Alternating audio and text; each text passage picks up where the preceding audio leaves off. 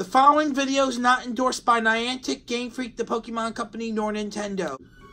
Hi everyone, Louis here, and I thought I'd bring you some recent news relating to Pokemon Go. This just in, yesterday, Niantic has announced a new experimental event called Legendary Lunch Hour. Starting March 13th from 12 p.m. to 1 p.m., some gyms will be available for some legendary raids of Pokemon from Gen 1 to 4.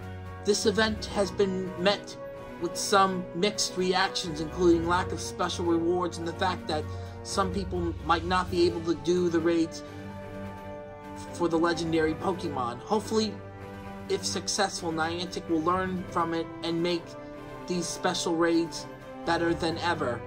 One more thing. I want you all to check out a special friend of mine who I met through the scuba diving community, Charlotte Burns. I'll be sure to put a link to her channel and other stuff in the description below. Also, I do plan to do a new vlog 3 to replace the old one I accidentally deleted and lost yesterday. My earlier vlogs weren't as great as my newer ones anyway. However, I do apologize for the accidental deletion. If you like this video, please hit the like button and be sure to subscribe to the channel and hit the bell for alerts when I upload new content to the channel, especially those with disabilities similar to mine. You can also follow me on Instagram, Twitter, and Facebook. And remember, it's time for adventure!